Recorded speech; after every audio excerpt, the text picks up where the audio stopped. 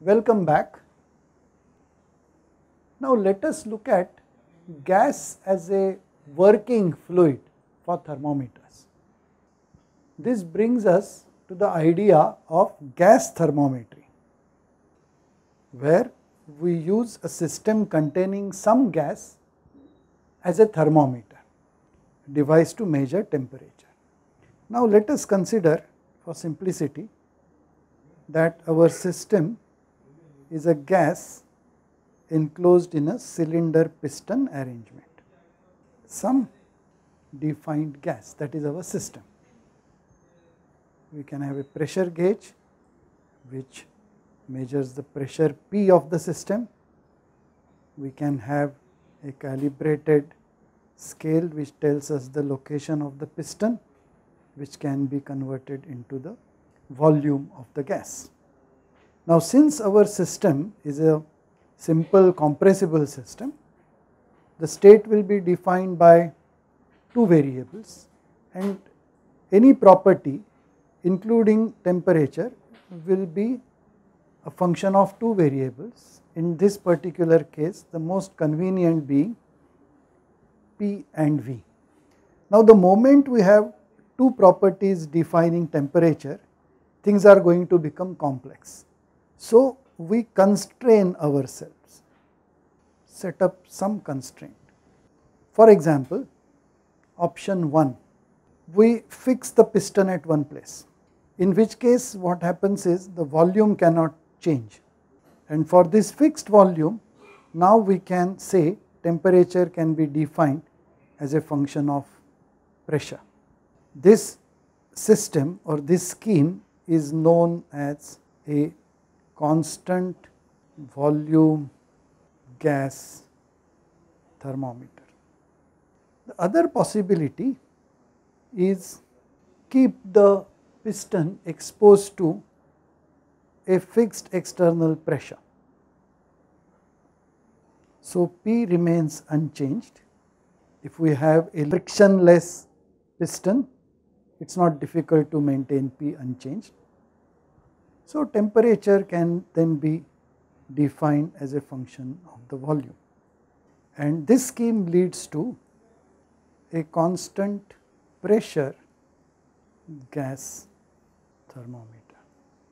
Considering the ease of measurement and considering the required or obtainable accuracy, the constant pressure gas thermometer is considered a better scheme than the constant volume gas thermometer. For the constant pressure gas thermometer, all that we have is a system essentially a cylinder piston arrangement in which a predefined gas say nitrogen or oxygen or helium or hydrogen is kept that is our system. P is maintained at a constant value say 1 atmosphere most convenient it is the volume which is measured at various states and temperature is defined as a function of volume. As we do the experiment we find that as the temperature changes volume will undergo a change. So, you will get some line like this which will calibrate our temperature to the values of volume. And then we can measure the volume at say ice point assuming that ice point and steam points are still our fixed points. So, let us say this would be the state at the ice point, this could be the state at the steam point and then this would be V at the steam point, this is the V or volume at the ice point. We can define for example, a Celsius scale based on this. Let us say this would be 0 degrees C, this would be 100 degrees C and some system which is in thermal equilibrium with a volume say V. From this calibration chart, we will say that it has this temperature. If this is the volume as indicated by the system this will be the temperature on this constant pressure gas thermometer. Now there is still some arbitrariness in this. First which gas? It turns out that if you fix the ice point and steam point and 0 degrees C and 100 degrees C as the reference temperatures, then at a given state in between 0 degrees C and 100 degrees C, the temperature which you obtain depends on which gas you use because the behavior is not exactly linear. Not only that, it also depends on which pressure you fix the gas at. And of course, such a arbitrariness is not good for precise measurement of temperature.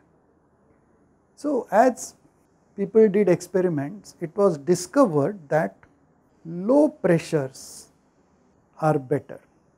It was Robert Boyle who experimented with various gases and plotted isotherms on the PV plane. And what he noticed that he plotted isotherms for different temperatures, ice point, steam point. These are various temperatures. This is the T1 isotherm, this is the T2 isotherm, this is the T3 isotherm, this is the T4 isotherms. So, Boyle discovered that isotherms of a gas approximately follow the relation that pressure and volume product is a constant. The constant is not an absolute constant. The constant is different for different isotherms which is good. The value of the constant can be used as a measure of temperature, but it is also different for different pressures or different masses. For the same uh, volume, if you increase the pressure, you are increasing the mass of the gas in our system. And it also depends on which gas. And he discovered that this approximation becomes better as we reduce the pressure.